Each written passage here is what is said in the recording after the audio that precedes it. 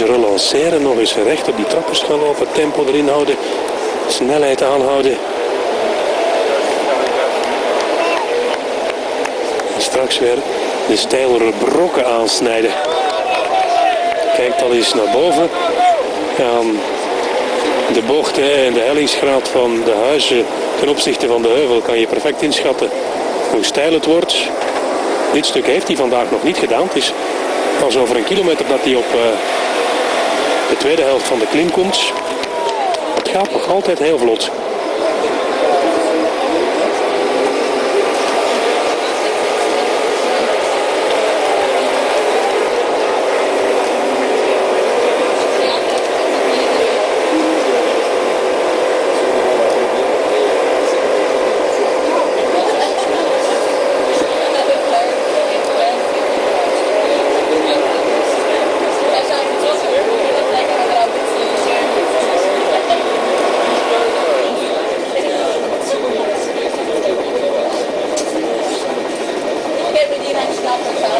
Als belofte heeft eh, Ruben Lobato een paar klimwedstrijden gewonnen in eh, Spanje.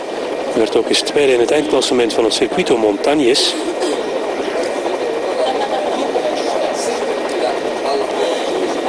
Dit jaar nog niet echt noemenswaardige resultaten geboekt. Pelotti nu ook te sterk voor Zampieri. Sampieri heeft zijn krachten een beetje verkeerd ingeschat. Of beseft ook dat het geen zin meer heeft.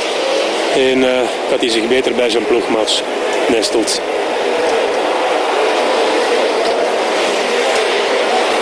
Volgwagen van Sonnier Duval naar voren. Dat mag. Verschil groter dan een minuut. We schuiven hier op in het uh, peloton. Zien Garzelli nog altijd achter de Fonac-trein zitten. Laat je nu nog maar eens uitzakken tot helemaal achteraan, meneer de Motaar. Cunego zou maar wat trainen vandaag volgens onze Italiaanse collega. Het is dan een goede trainingsrit. Hij zit daar nog altijd bij Garzelli. Cunego die, zoals we gisteren al meegaven, straks vader wordt van een dochtertje, Ludovica.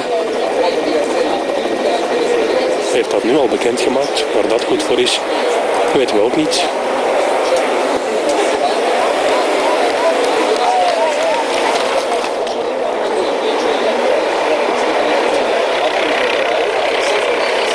Belotti ingelopen door het peloton. Dat betekent dat Sampieri ook ingelopen is door het peloton. Dus hebben we nog één leider en dan de groep Fomac. De groep Ferrero.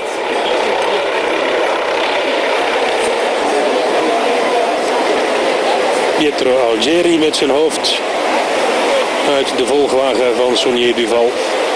Algeri, vroeger ook ploegleider geweest bij Lampre zelf oud-prof.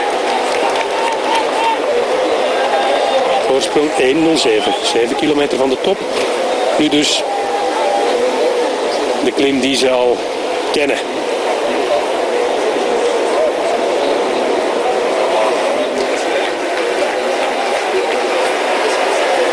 Goed jongens, hoe zit het hier? Terdiguero en Chop moeten toch stilaan zacht zijn Laat die andere maar komen.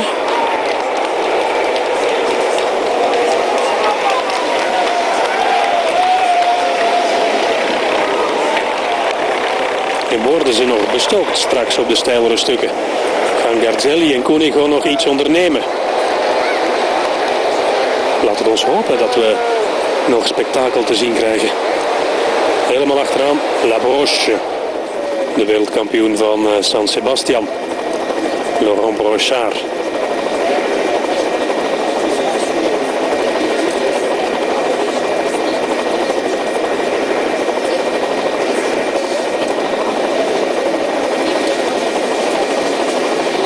Voilà, hier gaat het weer goed bergop.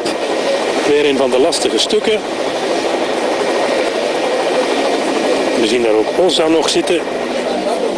La Broche vertoont sporen van een valpartij helft van zijn achterwerk bloot.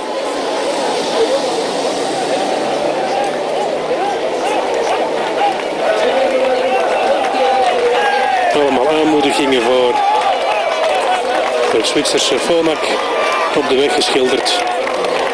Moos. Enorm populair in Romandie. Flamboyante kerel. Wordt morgens bij de start door iedereen aangeklampt. Menschov daar ook. Goed voorin. Cunico, Garzelli. Dan Fonak voltallig.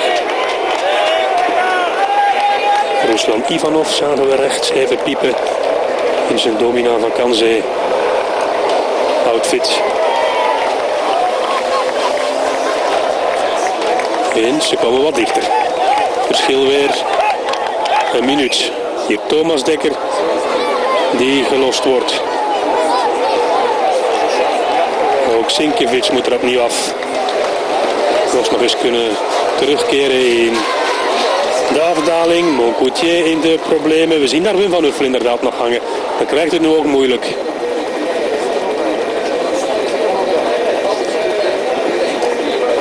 Van Huffel hangt daar helemaal achteraan in die grote groep van het Kranjek klasse mensrijders. Dus knap wat Van Huffel doet.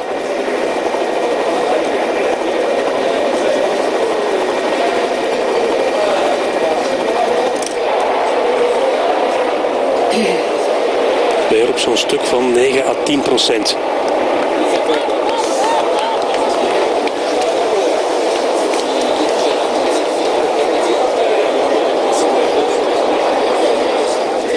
Nu gaan ze vallen als vliegen, de mannen die gewerkt hebben. Ze zijn in Saint-Romain op 5,9 kilometer van de aankomst met het peloton. Lobato is daar dus al door. Maar zijn voorsprong slinkt. Nog 50 seconden. Een versnelling.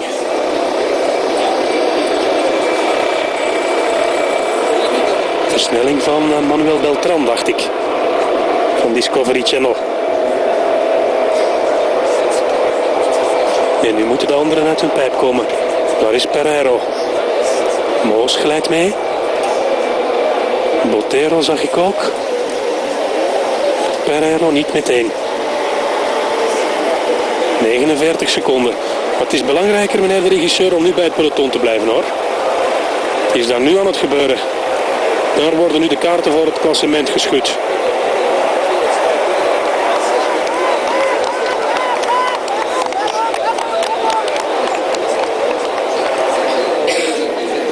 Kilometer van de top. Pereiro daar. Ik denk dat hij wat aan het slingeren is. Hij heeft het moeilijk. Oscar Pereiro. Garzelli in de problemen. Garzelli wordt nu zelfs voorbijgereden door Wim van Uffel. Garzelli dan toch niet zo goed als we dachten. Kan dat ritme niet volgen. Hier is Ruslan Ivanov.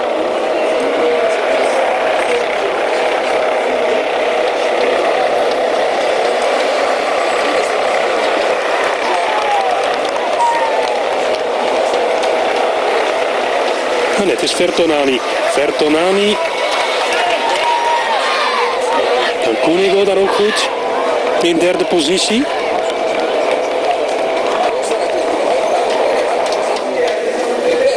En nu gaat zijn voorsprong zeer snel smelten. Met de helikopter is dat bergop nog ongeveer dit. Er blijven nog 15, 15 man over. Een man of 14. Nu. Versnelling van Cunigo. Damiano Cunigo. Zou trainen? Ja, vergeet dat maar. En Pereiro wordt gelost. De kleine prins ontbindt zijn duivels en gaat eens de anderen testen en vooral zichzelf testen met het oog op wat volgende week komt. De Giro d'Italia, de ronde van Italië die hij vorig jaar won. Botero glijdt mee. En Fomak explodeert. Nadat ze zo oppermachtig de koers leken te beheersen, te controleren, gaan ze hier straks in vieze papieren komen te zitten. Als het zo voortgaat. Lobato. Nog eens een danseuse recht op de trappen slopen, dan weer gaan zitten. Maar al maar moeilijker naar boven kruipend. Hoe sterk hij zich ook gevoeld heeft in deze rit. En laat ons nu alsjeblieft eens zien wat de gevolgen zijn van die versnelling van Koenigo.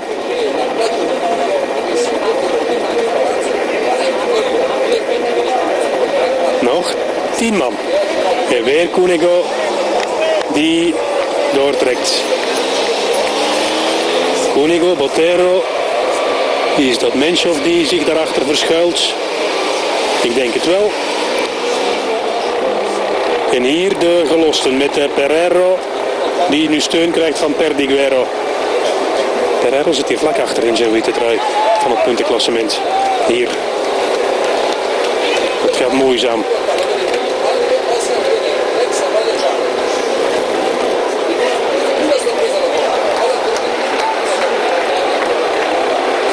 Pereiro dacht nogthans dat hij stand zou houden tot in Lausanne. Lutenberger en Tootschnig erbij. Het is natuurlijk nog niet verloren. Ze kunnen daar nog naartoe. Misschien gewoon een inzinking, een slecht moment. De neutrale wagen reed daar niet zo ver voor. Lobato, die nu aan het parkeren is. Daar zijn ze vanuit de achtergrond met een man of tien. En proberen nu eens een overzicht te geven van dat groepje.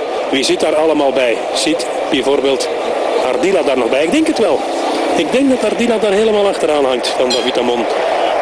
Lotto. Op 4 kilometer van de top.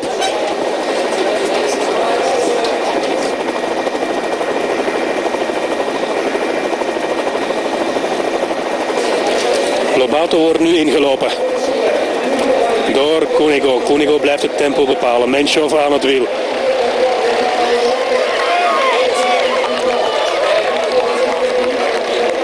Dit zijn stukken waar ze er perfect naast kunnen en ze vertekenen het om het te doen. Dat is jammer.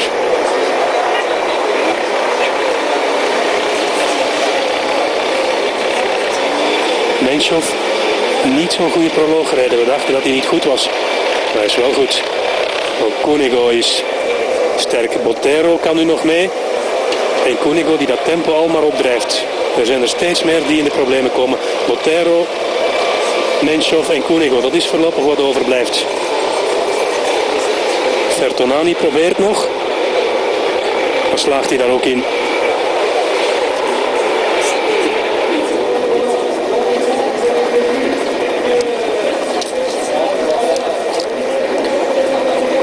Koenigo 117e in de proloog op 21 seconden.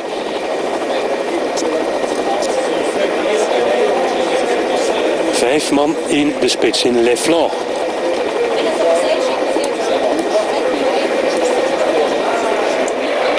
En nu nog die lastige stukken. Ook Atienza is daarbij denk ik het kleine mannetje van Kofidis.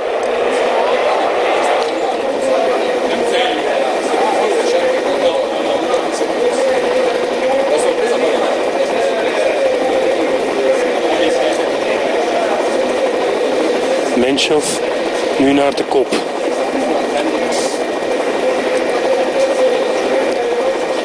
Zet zich dan snel weer op de kant. Laat het werk aan uh, Damiano Koenigo. Dan Atienza, Botero, Fertonani. Hebben we daar ook Savoldelli of is het Beltram?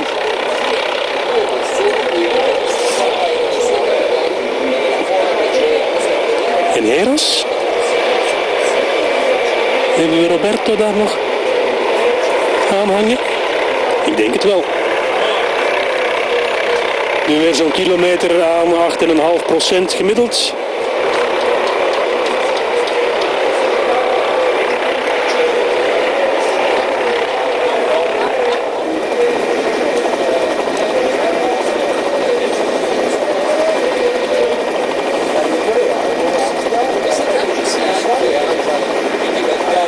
Beltram is de zesde man.